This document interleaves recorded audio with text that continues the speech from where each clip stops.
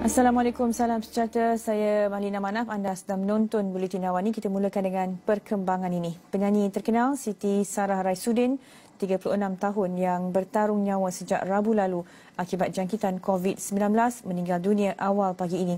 Allahyarham menghembuskan nafas terakhir pada jam 5.13 pagi di Hospital Chancellor Tuanku Mukhris HCTM, Universiti Kebangsaan Malaysia. Berita duka cita ini disahkan suaminya, pelakon dan usahawan Syuib Sepatu atau nama sebenarnya Syahmira Muhammad menerusi hantaran di Instagram rasminya.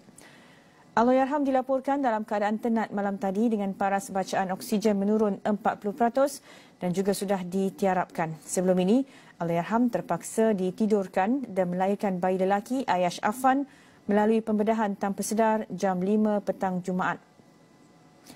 Pada 27 Julai lalu, Siti Sarah mengesahkan dirinya dan keluarga positif COVID-19.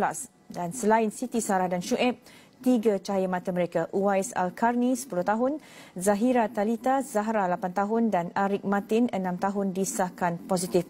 Bagaimanapun Shuib bersama anak-anak disahkan negatif selepas menjalani kuarantin kendiri selama 14 hari. Astro Awani merakamkan ucapan takziah buat keluarga Allahyarham.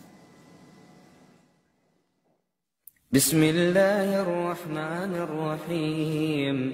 الحمد لله رب العالمين.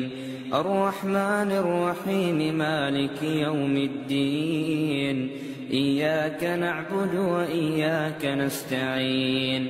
اهدنا الصراط المستقيم صراط الذين أنعمت عليهم غير المغضوب عليهم ولا الضالين.